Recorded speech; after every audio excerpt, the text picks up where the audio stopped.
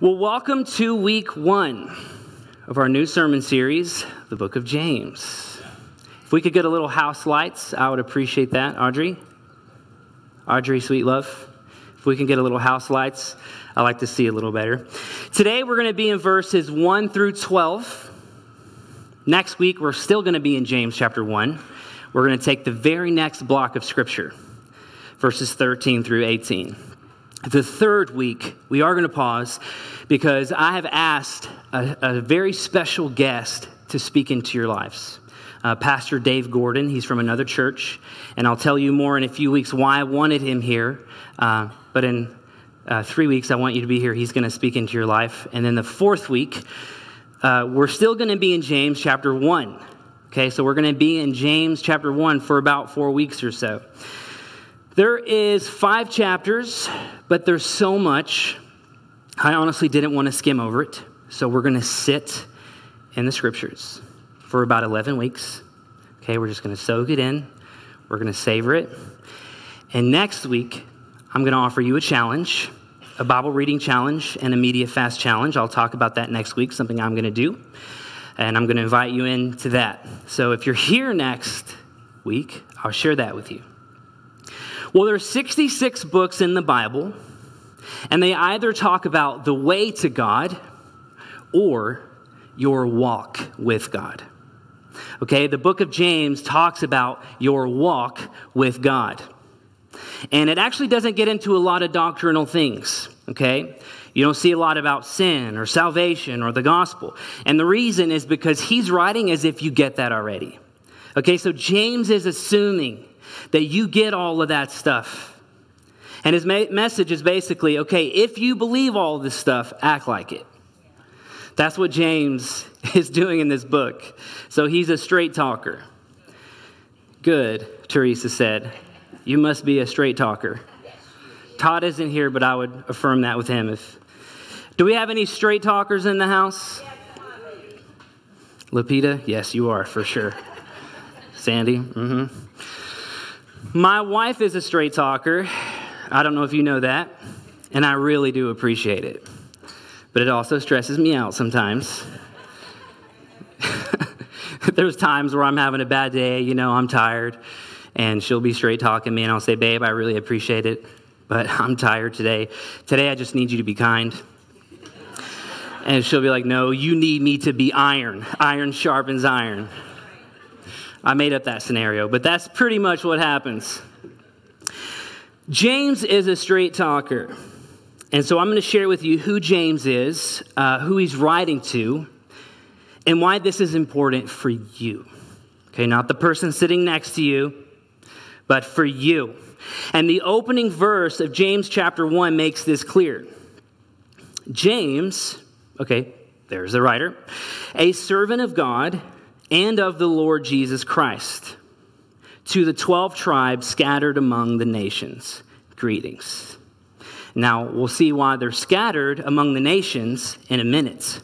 But this is James, and he is the half brother of Jesus. He's family to Jesus. We know this because in Matthew 13, we see coming to his own hometown, Jesus began teaching the people in their synagogue. And they were amazed. Where did this man get his wisdom and these miraculous powers? They asked. Isn't this the carpenter's son? Isn't this, isn't his mother's name Mary?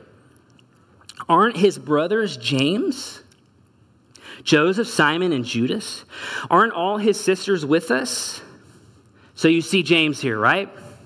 That's the James who wrote the book of James. I don't know if you know this, but Jesus' family didn't always believe in him as the Messiah.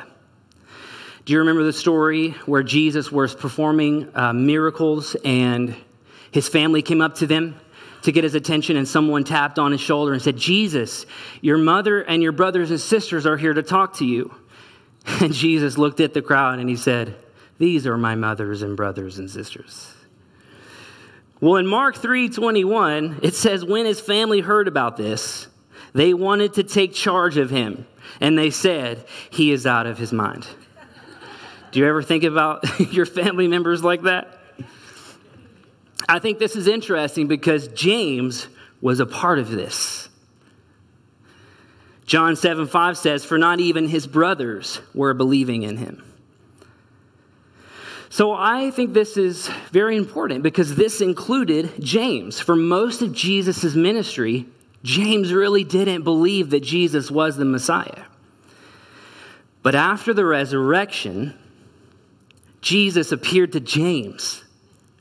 And it was such a miraculous encounter. James's life was changed by the power of resurrection life that we talk about here. That he became one of the greatest leaders in the early church movement, and he wrote one of the most powerful books on Christian action, calling Christians to take their faith seriously. So that gives a little more context now, doesn't it? James now identifies as a servant of God and of the Lord Jesus Christ. And he wrote this book to the 12 tribes in the dispersion. I came back to the, this verse and I changed um, the translation. The other one said, scattered among the nations. But it was known as the dispersion. So that's his audience. He's writing to people who have been scattered. Why were they scattering? It, it would be like us just scattering. They were facing persecution. It was very hard to profess Christianity. So people were drifting away from the faith. Christians started bickering, and they actually became very unproductive. They're scattered, unproductive, falling away, drifting. And so James is whipping them back into shape. And I think that I feel like in our country, we're in a dispersion ourselves.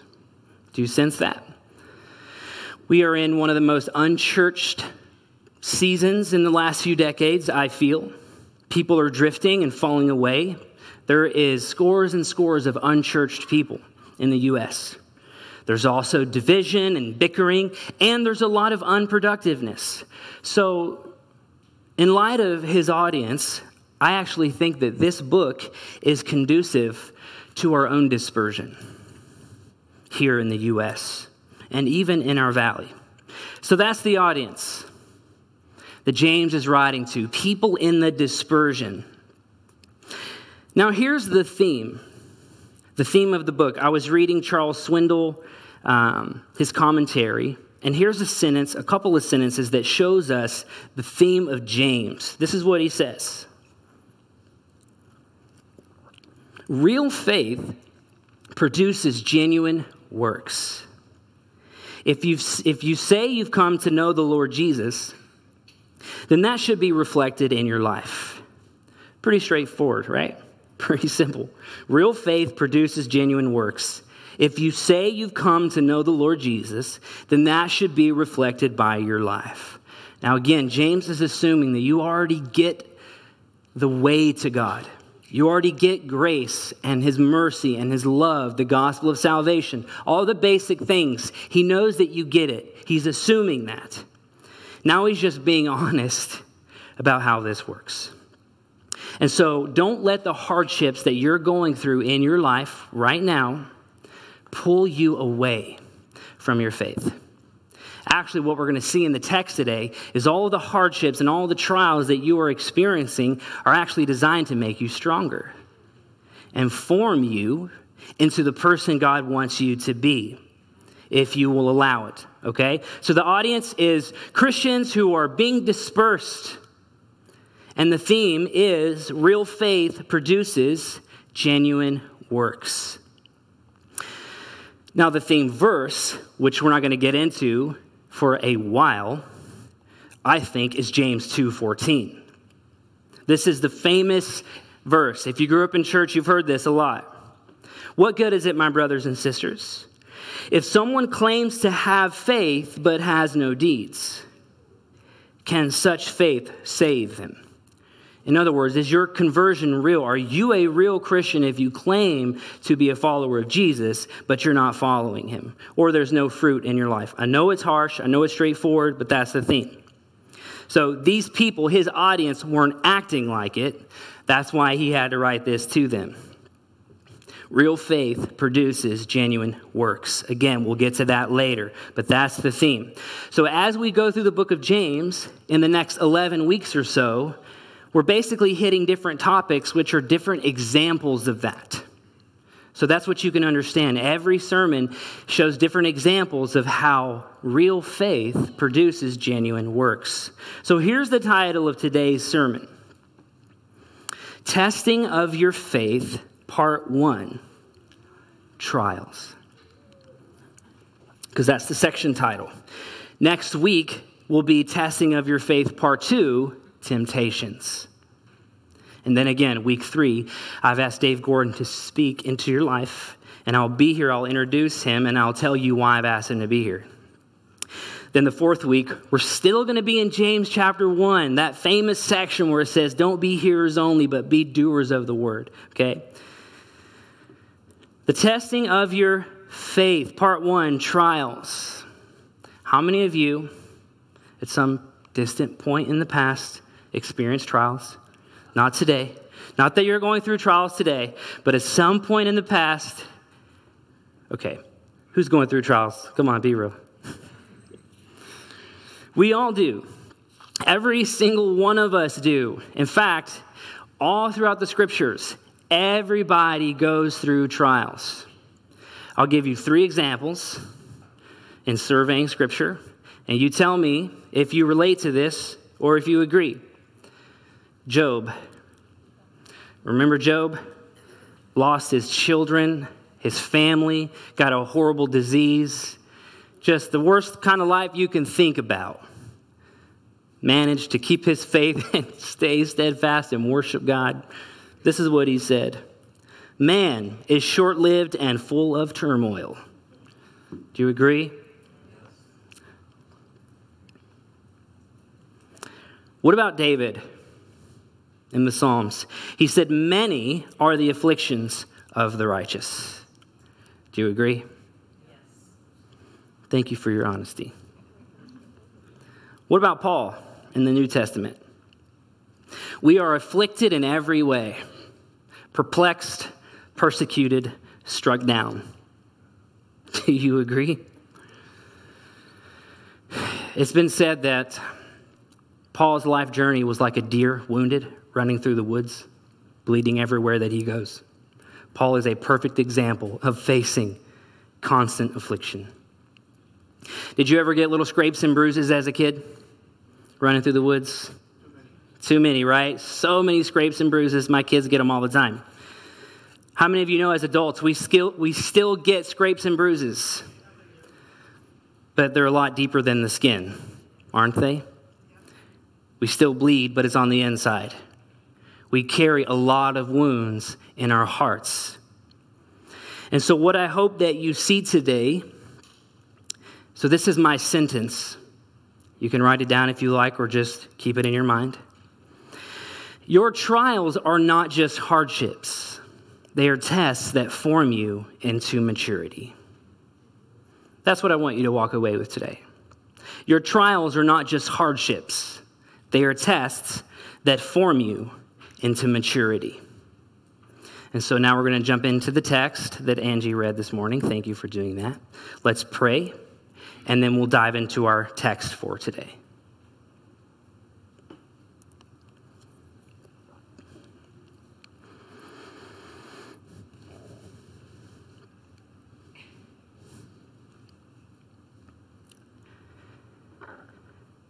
Thank you, Lord, for your word. I thank you that you have given us this text. You've given us this book because you love us, because you are always inviting us into a loving friendship with you. And you want us to know this love and enjoy this love in our everyday walking around lives. And you show us texts like this to pull us out of our drifting away from you and, and pulling us into a living, breathing, interactive relationship with you. Even the texts that are hard I pray that we would see them as your love for us, the way that a father disciplines his child. I pray that it would engage our minds, but I pray that it would descend into our hearts because that is where real change occurs. I pray that you would teach us what we are to do in response to the text, in participation with your power, because we cannot change ourselves. Christ alone is the power to change lives. But teach us how to posture ourselves and participate with you. How do we respond to the word that is spoken to us today if we are, in fact, your people? We pray that you would lead us in Jesus' name. Everybody said? Amen. All right, here we go. James chapter 1, verses 2 and 3. Consider it pure joy, my brothers and sisters, whenever you face trials of many kinds because you know that the testing of your faith produces perseverance. Angie read patience. I love that. Another word is endurance. Just curious, how many of you, maybe if you grew up in church, have heard this your entire life or a very long time? Vince drops his head, yep. Kids' church, man, I've heard this my whole life. How easy it to, is it to forget this? Something so simple yet so powerful. In Charles Swindoll's commentary on these verses and their sermon notes today in the app and also in your worship guide that was handed out, he said there's two things that we need to know about trials. The first is that they are inevitable. It's inevitable, it's going to happen. And we see it from verse 2. Consider it pure joy, my brothers and sisters. What does the next word say? Whenever you face trials, or when you face trials. He didn't say if you face trials. It says when you face trials. So trials are inevitable. Suffering is inevitable for human beings, Christian or not. Have you heard this verse in 1 Peter 4:12 where it says when you're going through trials, don't be surprised as if something strange were happening to you? Jesus said, "In this world, in this present age, you will have tribulation. But take heart because I've overcome the world." That's why we did a whole series on the kingdom of God so that we could see the bigger, larger story. They are inevitable. So don't buy into the lie that Christian maturity or, you know, attaining kind of a more mature posture as a Christian is a spiritual Disneyland. Okay, that it's perfect and magical. Okay, Disneyland isn't even perfect. It costs money. Your feet hurt. The characters are fake. I'm sorry to break it to you. I know this because when I was little, five or six, I pulled on Tigger's tail. And it was not Tigger. He was, he was too sweet. He's like, oh, don't pull my tail. I was like, you're an imposter. Christianity is not a spiritual Disneyland. Trials are inevitable. Now, the word consider, it is implying a change of your mindset. Okay, it's not saying that trials are joyful. Trials are not joyful. When was the last time you enjoyed getting into an argument with your spouse? You don't enjoy having conflict. I see spouses looking at their husbands. I like it. You don't enjoy getting into conflict with your friends.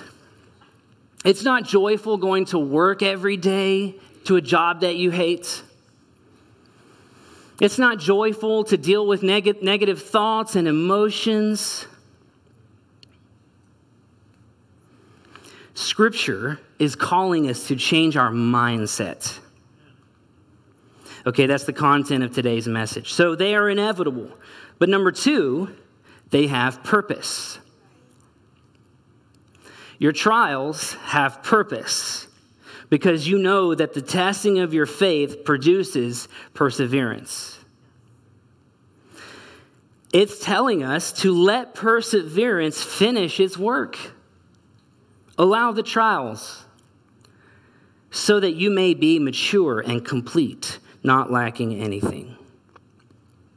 So the trials that you go through have a purpose because they're actually developing more endurance in you. And if you don't quit in the middle of the process and allow endurance to take effect, it'll actually lead to a more completeness in your spiritual life, a holisticness. I've been hearing a phrase, I don't know if it's been around a long time or if I'm just hearing it. Have you heard of this phrase going around called quiet quitting? Quiet quitting? So it's when you're working at a job and you've lost heart. You don't want to work there anymore. And so you kind of quit a little bit, even though you can't quit because you need the income. So what you do is you just do the bare minimum. You just do the bare minimum to get by.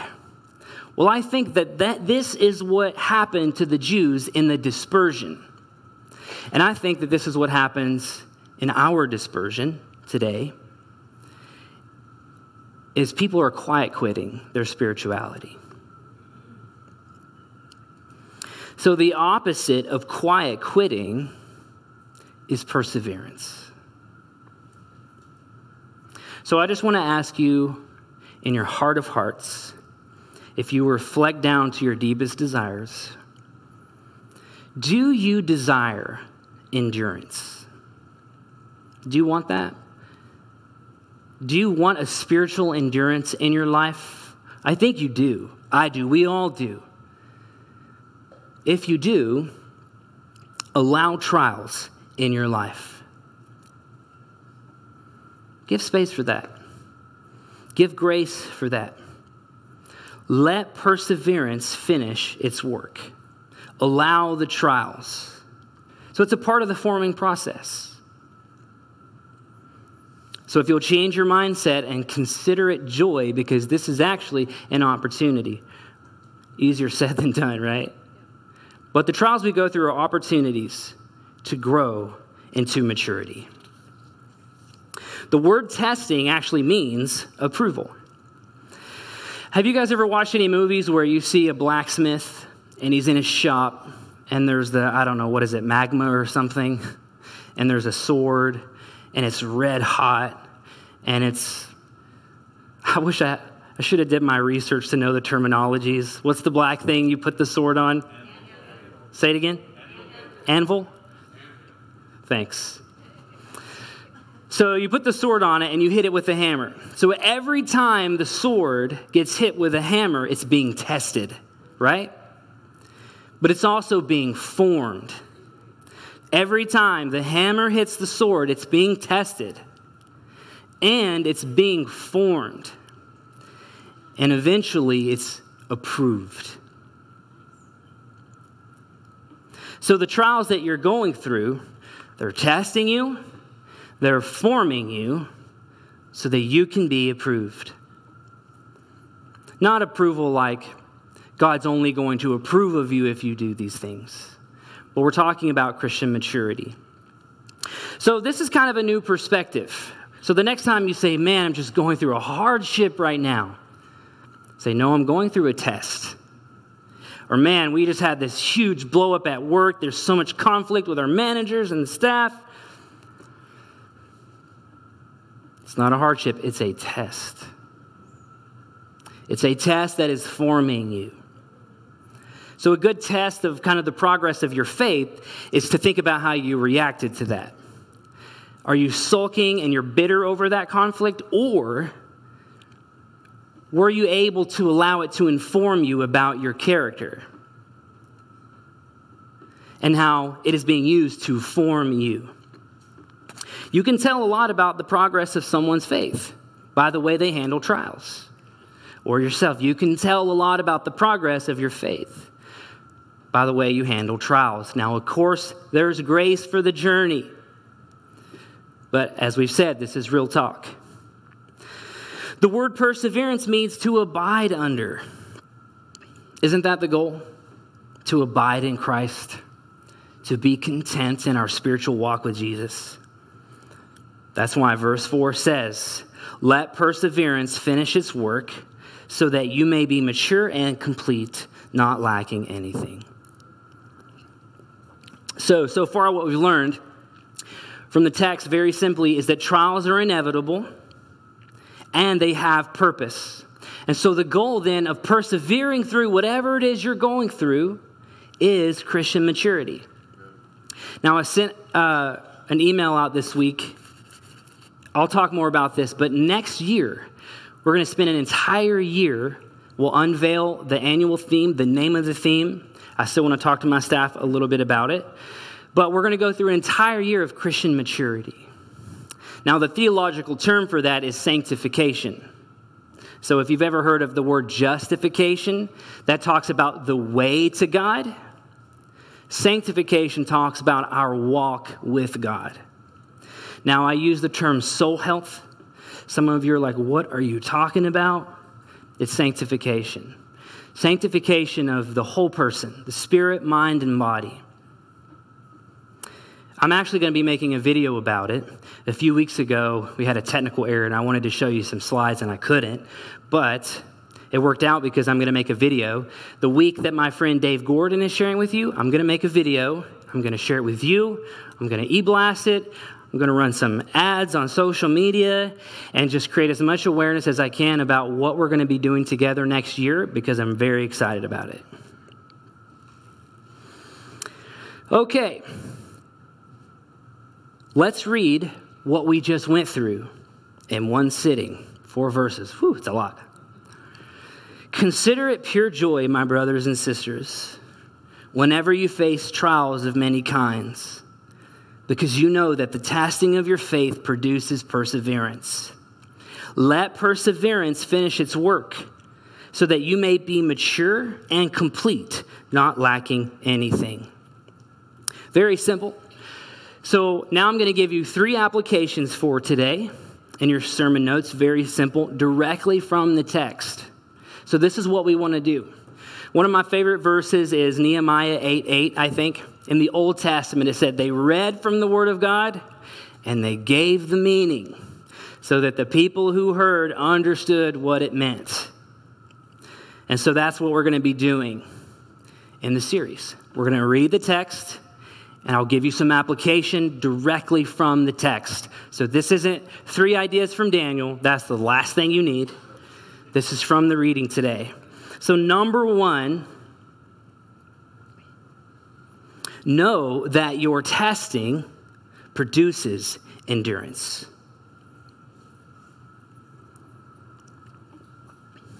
Know that your testing produces endurance. So, the text today is calling us to change our minds about all the various kinds of trials that we go through and see them not just as hardships, but as tests that form us and prepare us for endurance. So that's number one. Number two is know that your endurance leads to completeness. That's what the text told us. So the goal of persevering through trials and not quitting the goal of persevering is so that we can be formed into Christian maturity, which just means health. We're healthier. Now, I want you to see the sequence here. It's very important. Testing. See the word testing? Testing, it's like a wall, it's a barrier. If you get through that, testing leads to endurance. And endurance leads to completeness. That's why James said, Consider it pure joy. The trials aren't joy, but we can consider it as joy when we know that testing leads to endurance and endurance leads to completeness. Now, many people stop at the testing. There's a really good book I read called Emotionally Healthy Spirituality. It talks about kind of the stages of faith. I don't know if I remember them all, but you know, you get saved, you get excited, and then number two, you get on a pathway of discipleship. Number three, you start serving, and then you hit a wall. A lot of people hit a wall, whether it's early on in your faith, later on in your faith, people always hit a wall. And that wall, it's either going to break you or it's going to send you into the inner journey. It's called the next stage is the inward journey. We start to learn to live from the heart. And that is what permeates through the formation dimensions. We'll talk about that next year toward holistic soul health. But many people stop at the testing. The test comes and they fall away. Or the test comes and man, they get discouraged and they drift away. Or worse, they disperse. Congregationally, I think the pandemic was a big test for our whole country, for the world. And a lot of us dispersed. What did Jesus say about building your house? If your house is built on, a sand, on the sand when the storms of life come, it's obviously unstable and it falls. But when we learn to build our house on the bedrock of Jesus, the storms come. Are you getting it? So the testing leads to endurance, and endurance leads to completeness. So I just want to encourage you. I don't know what you're going through, but I know it's something. Don't give up before reaching maturity. Swindoll said it like this Don't cut the process short that's leading to your maturity. Don't cut the process short. Let perseverance finish its work. Allow the trial so that you may be mature and complete, not lacking anything. So, in transition, I want to ask this question why do we not have endurance? Sometimes. We all do. Me too. Why do we not have endurance? Why do we sometimes we kind of drift off, we fall away, and we lack this completeness? Again, it's not a spiritual Disneyland, so we're not trying to obtain this like perfection, but, but why do we struggle with endurance and completeness? Well, we learn in the very next verse.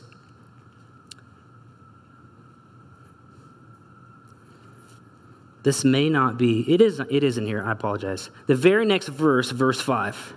If any of you lacks wisdom, there's the first reason. That's the first reason right there. We lack wisdom. If any of you lacks wisdom, you should ask God, who gives generously to all without finding fault, and it will be given to you. So the first reason is we often fail to endure and kind of, um, you know, live more healthy spiritually is we start to lack wisdom in our lives. It happens to us all the time. But there's another reason, verse 6 through 8. But when you ask, you must believe and not doubt. So there's our second problem. We doubt. So when we start to lack wisdom in life, we start doubting. That's when that happens. So ask for wisdom, James said. But when you ask, you must believe and not doubt, because the one who doubts is like a wave of the sea, blown and tossed by the wind. That person should not expect to receive anything from the Lord. Such a person is double minded and unstable in all they do. That's some straight talk, right? We often fail. I often fail to endure. I often fail to feel and be healthier spiritually when we have our seasons. We go back and forth. And the moments when I fail to endure and be more complete is when I lack wisdom and I start doubting that is when we're blown around and we're tossed and we don't receive what we need. We're double minded and unstable in all we do. So now I want us to isolate that last phrase in the text together. Just isolate those words. A person who lacks wisdom and is doubting. Okay, such a person is double minded and unstable in all they do. So that phrase there, double minded, it just means that you have your mind on two things. It's really a conflict of two wills. So it's really double willed.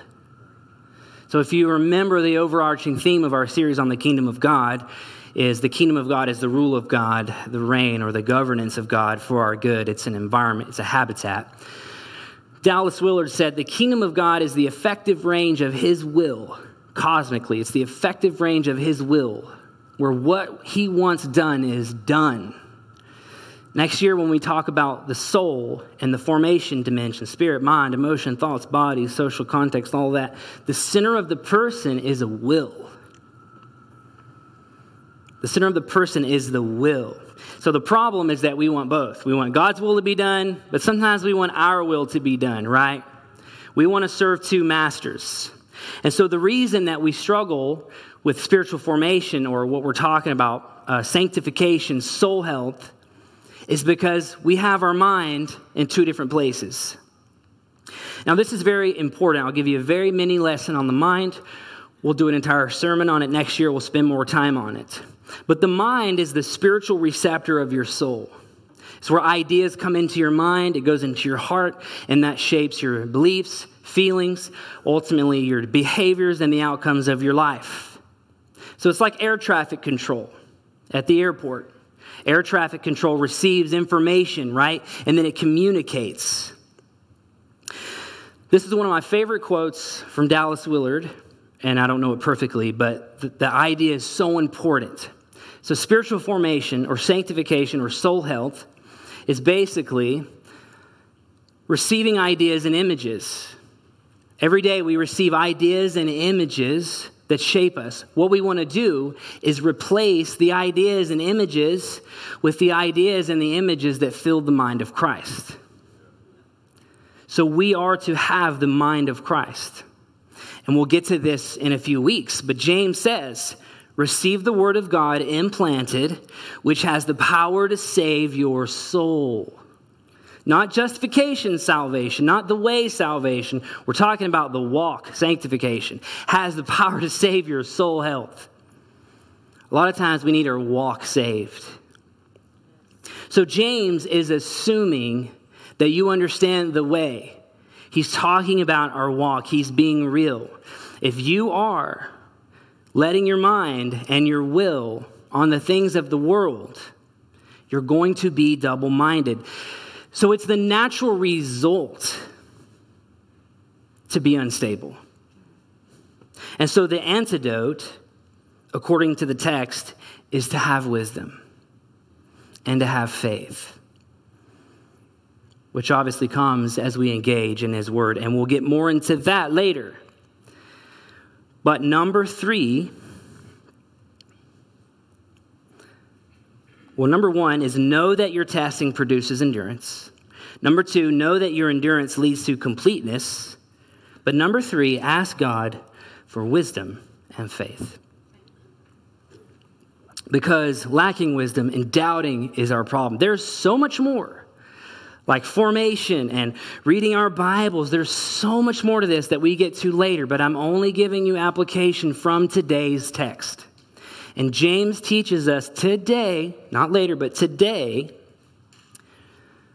that we need to ask God for wisdom and we need to ask Him for faith.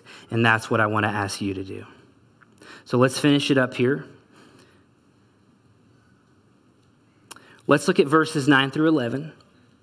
This verse shows us that all of us, whether rich or poor, we all have trials. Believers in humble circumstances ought to take pride in their high position. So that's their trial. Whether you're struggling financially or you're feeling lowly, consider it joy. Okay, so that's a category. Believers in humble circumstances ought to take pride in their high position.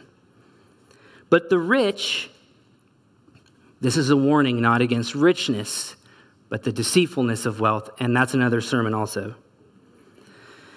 But the rich should take pride in their humiliation, since they will pass away like a wildflower. For the sun rises with scorching heat and withers the plant. Its blossom falls and its beauty is destroyed. In the same way, the rich will fade away while they go about their business. Even the rich is needy. There's no one who's not struggling with needs. Again, we'll have a sermon dedicated to wealth, how it's not evil, but dangerous. Whether you're rich or poor, lowly or elevated, humble or proud, you have trials. And we're simply learning today allow the trials to happen, to happen, because they're forming you. And we're going to end with verse 12 today. Next week, we'll pick up in verse 13. Verse 12 says, Blessed is the one who perseveres under trial, because having stood the test, that person will receive the crown of life that the Lord has promised to those who love him. That's a summation verse, isn't it? Blessed is the one who perseveres under trial, because having stood the test, that person will receive the crown of life that the Lord has promised to those who love him. So if you will persevere through whatever it is that's weighing you down right now, first of all, Jesus invites you, He wants to take that burden from you. But with Him, if you will persevere through trials, you'll be blessed. It says it very clearly if you will persevere under trial. We try our best to avoid legalism because we want to do that. Life change does not happen by behavioral change. That's why our first plumb line says Christ alone is the power to change lives. But our second one says, but healthy spirituality requires healthy habits. So we have to put some stake in the game. We have to participate with Jesus. So there is some persevering under trial that we have to do. But you will receive the crown of life in this life. Yes, if you persevere and you don't renounce your faith and lose your faith in Jesus, yes, you will receive the crown of life someday. But this is letting you know that right now, okay, a crown represents the pinnacle of glory and royalty you will receive the crown of life in this life if you'll persevere. You will be blessed. That's the life that we're talking about in the kingdom of God. And we're going to wrap it up right there. I'm actually going to leave you with the first verse. The way we started, we're going to end.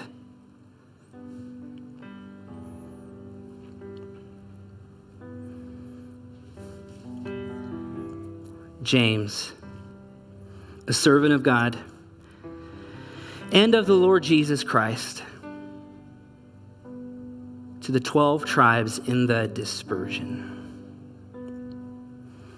Maybe you're here today and you're at a place in your spiritual life, you get the way to God.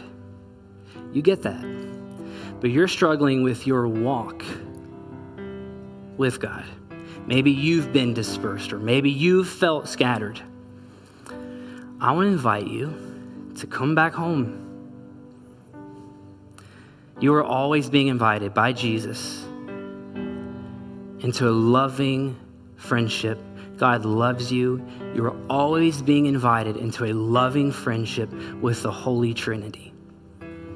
Another kind of life is here, and you are being invited into it. And I want to invite you to join us. This fall is going to be very exciting. Next year is going to be even more exciting as we grow together. So let's unite around God's word together. I'm actually going to call Mia's grandfather up here.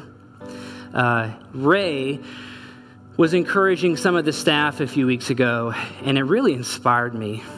Um, so yesterday I texted him. I said, Will you share that with our church family and then pray for us? And he said, I will be available. So let's welcome our dear friend Ray to the stage.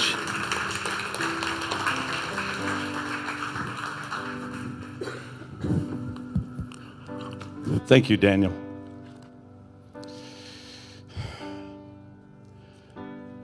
This, these scriptures that I'm going, about to read were shared with me and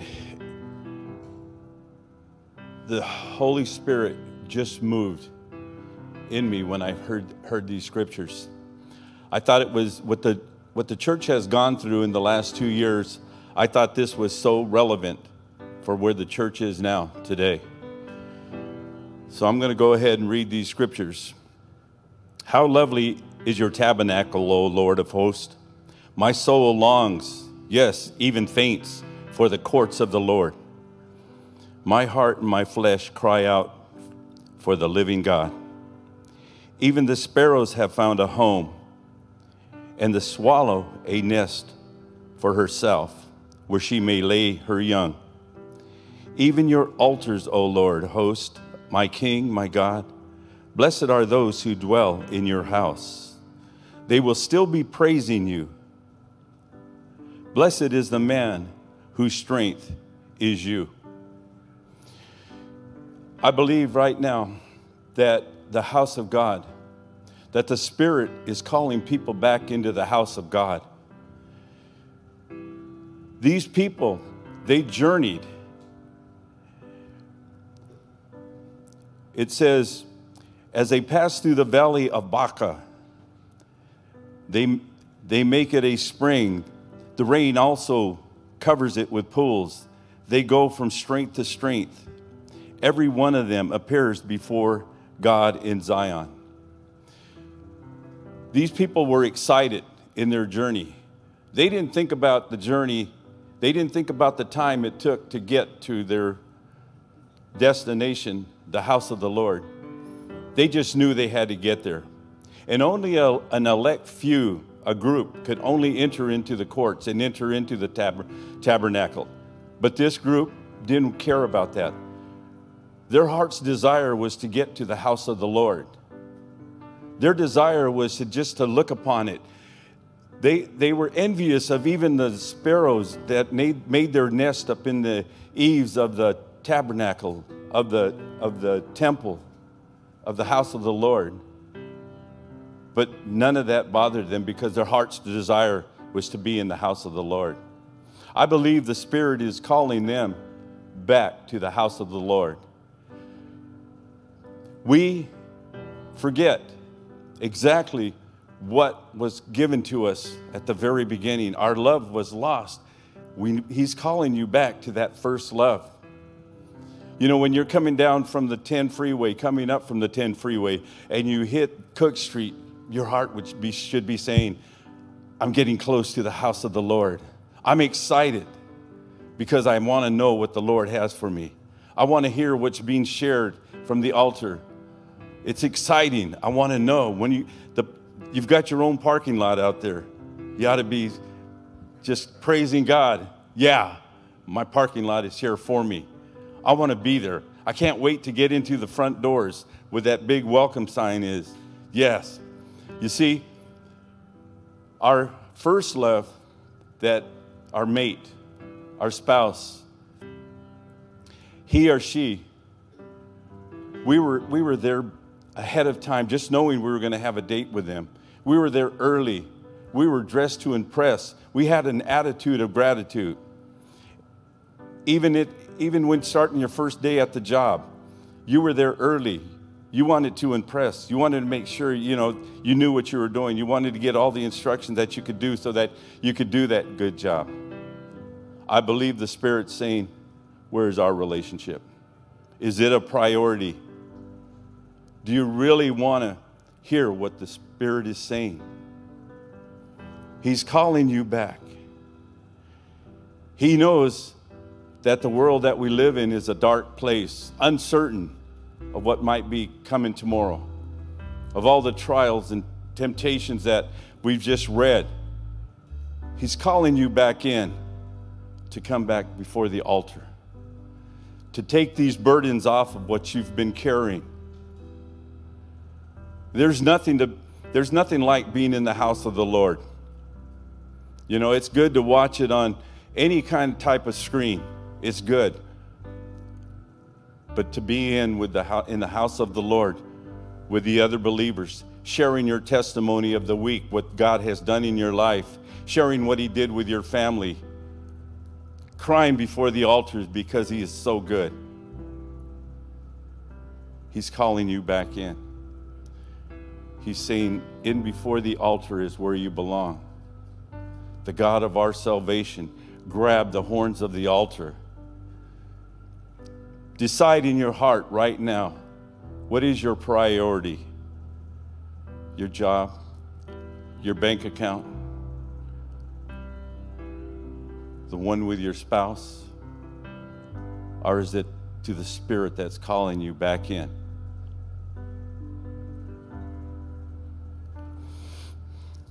I'm going to end with a prayer, but before I do that, if the prayer partners would come up. He's calling you that's sitting out here to bring your burdens, to bring that baggage, to bring all the disappointment, the hurt to, from this dysfunctional world. And He wants you to leave it right here. Where the Spirit of the Lord is, there is liberty. When you come in through that welcome sign and make yourself comfortable and listen to what the Lord is get the word of truth is being dispersed from the altar, you won't walk out those doors the same person. I'm going to go ahead and pray. Oh, Father, we thank you. We thank you for the truth that you're sharing with us. We thank you for the truth that you're teaching us. Father, we recognize you as the Lord of our salvation. We shall wait upon you all day long. Father, there is none in heaven like you. And in this earth, we desire no one else but you. Father, you are our Lord and our Savior. Father, in this word, in the end, these that are journeying, saying, one day in the house of the Lord isn't, isn't like a thousand elsewhere. Just one day in your presence in the house of the Lord isn't like anything, a thousand elsewhere. Father, I pray all that hear the sound of my voice will listen to the Spirit and obey. And we just praise you and thank you for the things that you're doing in your people's lives. In Jesus' name we pray this. Amen.